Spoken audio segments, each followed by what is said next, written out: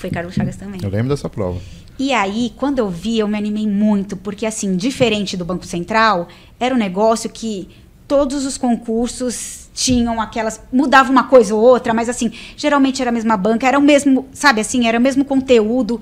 Tinha mais. Eu falei assim, caramba, não quero o Banco Central. O Banco Central não é para mim, não. O Banco Central é pro Fábio. Para mim, esse negócio aqui de fiscal. Você tava ainda com o Banco Central na cabeça? Eu tava ainda, ainda eu tava, nossa, muito. Não tinha desistido nossa. ainda? Não, não, tinha desistido, mas tava ah, frustrada, né? Me sen- E achando assim, na minha revanche, né? cabeça, era tudo assim, nível superior, sabe assim, Banco Central, todos os concursos de nível superior era assim.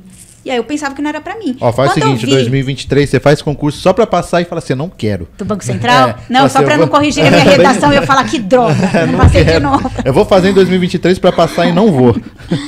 Tá. É, mas eu achava que todos os concursos de nível superior era mais ou menos assim. E aí eu vi que esse não. Falei, caramba, esse é muito mais minha cara. Porque se eu me esforçar nesse daqui, eu, eu acho que dá. 23 matérias, eu acho. Eu acho que eram, né? É, Eu não 23 lembro. matérias.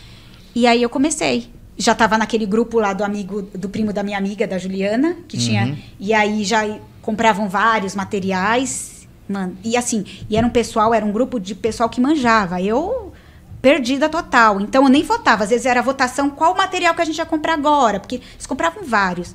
Eu nem votava. Falei, não, vou deixar esse pessoal que entende mais É. votar, que eles decidirem, para mim tá decidido. E aí eu fui est- estudei totalmente por online. Total online. É, E você estudava quantas horas, você lembra, por dia? Como que era a sua dedicação para essa prova? Então, aí eu me empolguei, né? Porque assim, como eu, eu. Por mais que eu não tenha entrado no número de vagas do TCE, na minha cabeça eu passei, já voltou a autoestima. Eu falei assim, entendi como eu, como eu aprendo. É, e, e gostei. Eu fiquei feliz porque deu certo e mais feliz ainda porque era muito mais gostoso de estudar assim para mim, sem precisar ficar anotando 500 mil coisas, sem precisar ficar fazendo resumo, mapa mental e, e- e essas coisas. É, é, ler, faz exercício, um monte, repete exercício. E eu gostava de repetir exercício. Amava repetir exercício, amava. Você fazia Mais exercícios da- das apostilas da, do da apostila. E assim, tinha um monte de material, né? Tinha, tinha material que eles compravam que era só exercício, exercício comentado. Mas assim, o meu, o meu plano de estudo era aula 1 da matéria tal. Eu mesclava, né? Eu colocava algumas matérias que eu gostava junto com outras que eu não gostava e tal. E aí, era, e aí eu tinha a meta de estudar a aula 1 inteira. Eu ia estudar a aula 1 inteira, ia fazer todos os exercícios e, e aí ia passar para outra matéria. Então, meu cronograma era assim. E Você lembra quantas horas você estudava por dia? então, eu ficava. Era tranquilo de estudar na Receita e eu também ficava até mais tarde. Eu aproveitava que lá era tranquilo de estudar, porque em casa tinha minha filha, né? Era É. ah, então você ficava Falar quem tem criança dava- em casa. Nossa, Dava ficava- o horário, você começava... Nossa, eu ficava até nove da noite, às vezes. Eu fazia isso no Ministério do Era Trabalho. ótimo, porque, to- assim, eu tinha um pouco, eu sou medrosa, né? Então tinha um pouco de medo de espíritos, assim, que só ficava eu, eu ficava no andar inteiro, porque o povo que estava estudando mesmo era de outro andar.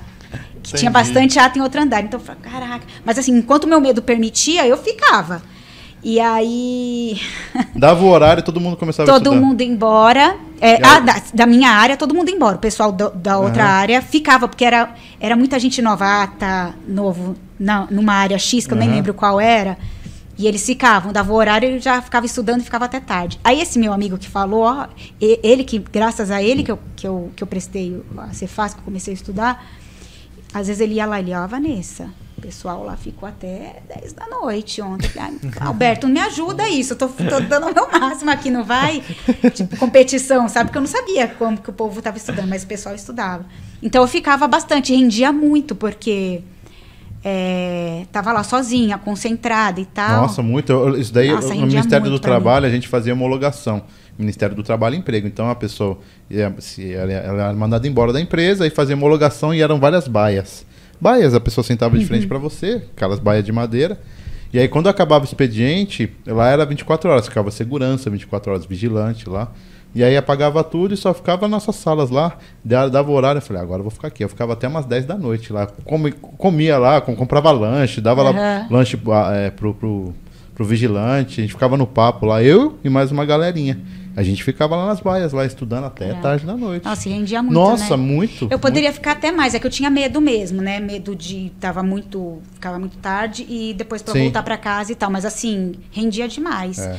Mas às vezes dava até pra estudar durante, sabe? Assim, eu fazia almoço super rápido. Meu chefe adorou quando eu voltei a estudar, porque